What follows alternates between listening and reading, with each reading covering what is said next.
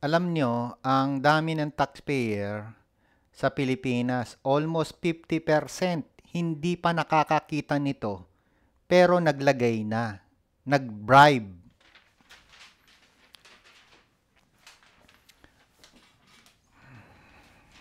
Ang topic ko kasi ngayon ay i-discuss ko sa inyo eh, pagkatapos nyong mag-bribe, este, pagkatapos nyo pong mag-bribe, mm, hindi, pagkatapos po nyong makareceive ng letter of authority, wag na wag po kayong mag-bribe. Kasi matagal, dapat makatanggap kayo ng ganito o katulad nito. Hmm? 3.7 million ang assessment. Na-solve ko po ngayong araw na to. 300,000 lang hong binayaran. Oh, di ang savings is mga 3.4 million. Pero kung makikipag-usap ka sa mga BIR official na corrupt, maitim yung gulugod, maitim pa yung mga buto nila hanggang bone marrow, eh hingan ka ng isang milyon. Tapos ang nakaresibo, 75,000. O ang naresibo, 300 din. Kasi yun ang totoo eh. O. So, wag po kayong maglagay. Maghintay kayo na makatanggap kayo ng ganito. Kasi dito, hindi magsisinungaling ang mga taga-BIR. Pag may papel, hindi sila makapagsinungaling.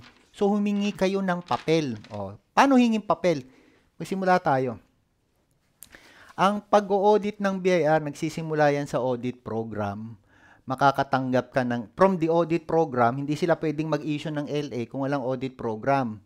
So, sa audit pro, sa LOA, may matatanggap kang LOA, may nakatas niya ng checklist. Kung hindi ka magko-comply, uh, padadalang ka ng first request. Ayaw mo pa rin mag-comply, padadalang ka ng second request. Pag hindi ka nag-comply sa second request, i-issuean ka ng subpoena. Tingnan mo ah, ini-issuean ka ng subpoena, i-issuean ka pa rin ng assessment o yung NIC, Notice for Informal Conference. Mag-comply ka, mag issue pa rin sila ng NIC. As a tax specialist for, for the past 30 years, ginagamit itong structure na to. Ha? Makinig kayo. Ginagamit itong structure na to para mag-reduce ng tax. Kung mahusay ka, turuan kita para malaman mo pa paano marireduce ang tax using subpoena duces tecum. Kung ayaw mo naman ng subpoena duces tecum, masyado kang matatakutin, ha? Second notice, magbigay ka ng mga requirements. So, balik tayo rito. Pag, kasi, alam mo yung lagayan, dito pa lang naglalagay na eh, sa LOA. Sa LOA pa lang yung mga taxpayer naglalagay na wag po kayong maglagay kasi wala pa hong ganit ay wala pa hong ganito. Okay? Hintayin yung magkaroon kayo ng ganito, details of discrepancy bago ho kayo kung ano man yung gusto nyong gami, gawin, masama man o mabuti, maghintay kayo ng ganito. So, ako, sinabi ko, itong hawak kong kaso ngayon, oh, sige, sabi ko sa kanya, nag-issue ng preliminary assessment notice, okay lang, walang problema dyan. Hintayin natin ang formal letter of demand, FLD, na may kasamang FAN at may kasamang ganito. Okay. So, ang topic ko, yung huli. ang dami ko kwento. Katas topic ko, huli. Okay. TL at 8 at ka. Yan, papayan papaliwanag ko. Yung TL at ALCA. Yung TL po ay, uh, ano ba yung TL? Termination letter. Ayan. Kasi po, pag nagbayad kayo sa BIR at nakausap niyo mga revenue officer na maitim ang kanilang mga bone marrow na sa sobrang corrupt, okay? Hingan nyo naman, kayo naman mga revenue officer, matuto naman kayong mag-issue ng TL, termination letter. Dalawa huhingin nyo, termination letter, TL, at ATCA, Authority to Cancel Assessment. Ibig hong sabihin yan, hindi ka na pwedeng balikan ng BIR. yung mismong BIR na RDO ha. Kasi siyempre, national office, baluktot, balubaluktot din yung ginagawa niyan eh. Baka baluktot din ng utak eh, di ba? So, importante, eh mag-google. Google ko nga na itsura ng TL. Uh, actually, pe-present ko rito para hindi nyo tatlong klase ng TL. Ha? Termination letter, may tatlong klase yan.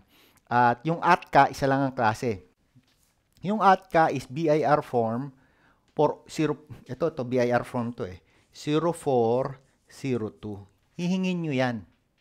Why? Ito magpapatunay na lahat ng assessment nila, ito, ito, ito ay kinancel nila. Yan po yung ginawa natin dito. Hiningi ho natin yan. At humingi kayo ng termination letter. Ayan. Hinihingi ko ho yan sa BIR bigyan nyo kami ng termination letter. At hindi ho ako naglalagay. Masama ho sa relihiyon ko ang maglagay. Ano po? Kahit ang relihiyon ko, anong klase mang relihiyon, dapat ho bawal ang maglagay. At kung maglagay ho kayo, wag na ho kayong magsimba. Tingnan natin kung gaano karami yung tao na papasok sa simbahan na hindi naglalagay. Ba? Mabibilang ngayon natin. Wag na kayong magsimba. Tingnan natin kung gaano kadaming tao. Ha? So ngayon, paano humingi ng ATCA at paano humingi ng TCL? Pag dito ka naglagay, ha? Dito ka nag-bribe, okay? Hindi ka may issuehan ng termination letter tsaka authority to cancel assessment kasi dito sa portion na to, wala ka pang assessment eh. Naglalagay ka na, hinayo pa ka, oo. Anong utak mo? Wala ka pa nga assessment, naglalagay ka na. Ibig sabihin, kung wala kang assessment dito, pwede kang issuehan ng assessment anytime kasi hindi pa tapos yung process. Yung process hindi tapos. Kaya kahit issuehan ka, maglagay ka dito, pwede kang makatanggap nito. Dahil hindi tapos ang process. So, saan ka dapat Ewan ko, kung gagawa ka ng kasama, no, ano, somewhere here, ito po, ito po yung landmark mo. Yan ang landmark mo. Yan yung star. Yan yung tala. Yan. Pero pagkatapos mo yan, humingi ka ng termination letter at ATCA. O sa susunod, yung mga gusto hong magpa-drop sa akin ng mga letters para makahingi ng termination letters at ATCA para ma-assure kayo na talagang close na close na ang inyong uh, letter of authority o LOA, tax mapping man siya at kung ano-ano, uh, i-consult nyo lang po ako. Siyempre may konting fee. Oh, huwag nyong kakalimutan yung susunod kong video. Nakadikit dito. See you later. Let's Buzz! Mahirap talaga. Mahirap talagang makakuha ng relevant, competent ayo at may care ng mga tax specialista. Ang dati hong tawag sa mga tax specialista ay tax consultant, CPA, auditor, accountant, bookkeeper. Ang bago na hong pangalan ay tax specialista. Ino-offer ko po itong opportunity na to doon ho sa gustong maging tax specialista. Katulad ng sinabi ko, ang hindi nakakaalam ng tax code, hindi makikita yung opportunity na ibinibigay sa, ng tax code. Ang daming negosyo rito. Isa sa mga negosyo na pwede po ninyong pasukan immediately. Ha? Malaking business opportunity po ito. Extra source of income nyo. Yung training accessible kasi magte-train ho ako sa iba-ibang location ng bansa natin at saka ilalagay ko rin sa online at yung pang-apat, yung support ay available. Kasi yung mga tinaining ko, ginagawa ko silang community para nagtutulungan sila. Ano ba yung sinasabi mo, Mr. Maestro? Simple lang. Meron po akong ginawang, uh, bubarahin ko ho to. Meron ho akong binawang uh, apps. Ayan po, makikita nyo. Hmm? Install nyo po itong tax mapping apps. Makukuha nyo yan sa Google. Ayan, Google Play Store. Okay? ito po yung para sa mga naghahanap ng tax specialista, nangangailangan po ng mga tutulong sa kanilang tax problems. Okay? Ito po yung i-download nyo sa inyong mobile. Okay. Ito naman, ito naman, ito to ah. Ito naman, kung gusto mong mag-apply uh, bilang partner ko at kumita ng pera sa pagiging tax specialista, ito po yung ida-download nyo sa inyong mobile. Uh, temporarily, uh, available pa lang ho siya sa Google Play Store. Pag na-perfect na ho yung program, magiging available na rin ho yan sa mga may mobile na galing ho sa Apple. Okay? So, sir, ano ho yung matututunan namin dyan? Ah, ito, sir. Una, may apat pong pillars. Ito po yung pillars. Nakikita nyo din, di ba? Yung pillars. Meron mong bookkeeping, may tax bookkeeping, may tax assessment or investigation, may tax uh, collection, at saka meron pong uh, tax investigation. Ayan, apat po yan. Makikita nyo, apat ang kulay. Iba-iba. Bookkeeping, uh, investigation, tax investigation, tax assessment, at tax collection. Sa tax bookkeeping, mayroon hong tatlong levels. VAT bookkeeping, withholding tax bookkeeping, at saka uh, income tax bookkeeping. So kung gusto nyo pong maging tax bookkeeping, hmm, tax bookkeeping specialista, tuturuan ko kayo. Ito lang ho ang kailangan nyo. Lahat ng entries Napakayabang ko naman. Hindi naman lahat. Siguro 95% ng entries na kailangan ng alin ng tax code. Ginawa ko pa. Pak! Ayan. So, yung mga accountants, bookkeeper, ha, mamimili na lang ng entry. Bakit sir ginawa nyo? Kasi alam mo ang mga accountant ng government, yung nagtatrabaho sa mga LGU, sa government agency, sa BIR, mga accountant dyan, hindi na nag-iisip ng entry. Kasi yung entry, pinipili na lang nila sa pamamagitan ng transaction. So, minamatch na yung transaction ha, dun sa available entry. Ayan. Ganon din po sa tax code. Hindi na ho kayo mag-iisip kasi sinabi ng tax code, siya na ho yung magbibigay ng entry sa inyo. Oh, available ho ito. Pag binili nyo ho ito, may kasama hong training at kontrata sa kontratang SNPEL.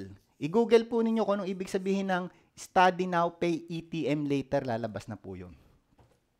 Next po is yung pong pagiging tax uh, investigation. Ayan. Sa tax investigation po, mga bossing, Marami kayong choices. Ayun, no? makikita nyo. Ipa-flash ko. Point! Ayan. Nakikita nyo ba yung choices nyo? May letter notice, may letter of authority, may benchmarking, may oplan kandado, may subpina duces tecum, at saka, ayan pa, kalimutan ko isa. Pagdating naman mo sa investigate, sa assessment, may notice for informal conference. Ayan, naka-plus sa, sa screen nyo. Notice for informal conference, preliminary assessment notice, uh, final assessment notice o formal letter of demand o at saka final decision on disputed assessment. Pag ang specialty nyo naman ay tax collection, ah, alam nyo po yung preliminary collection letter, final collection letter, warrant of distraint and levy, at warrant of garnishment. Lahat ho yan. Meron hong support group at meron hong uh, training. Of course, uh, may bayad ho yung training. Ang training po natin makukuha ninyo sa Taxation Professional University online o magmi-meet ho tayo. Nag-iikot nga ako sa buong Pilipinas. Ini-invite kita kahit OFW ka, kahit accountant ka, CPA, lawyer, bookkeeper, o kahit ano ang natapos mo. Basta't marunong ka lang mag-umintindi ng Ingles, sumulat sa Ingles, kahit na yung pagsasalita sa Ingles, okay na hindi mo kayang gawin. Basta yung dalawa, understanding English, reading English, and writing in English. Okay na ho yan kasi ganun ho ang labanan sa pagiging tax specialista. Marami hong tao na nangangailangan ng tax specialista. Ini-invite ko ho kayo na maging tax specialista para ho magkaroon ho kayo ng extra income. Hindi nyo kailangan mag-resign sa trabaho.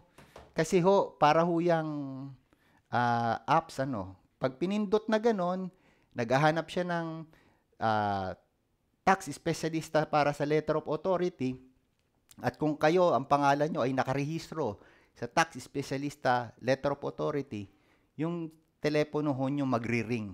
Unahan ho kayo doon ho sa pagtanggap. Then, magkakaroon ho kayo ng professional fee pag nag-meet ho kayo ng tao. Okay, hanggang sa muli ah.